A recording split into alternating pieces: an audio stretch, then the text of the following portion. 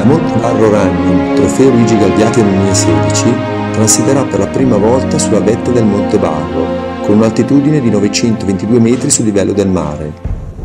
Dalla sua cima si gode di un panorama mozzafiato, sul lago di Lecco e il lago di Garlate da una parte con lo sfondo del Resegone e i laghi Briantei dall'altra parte.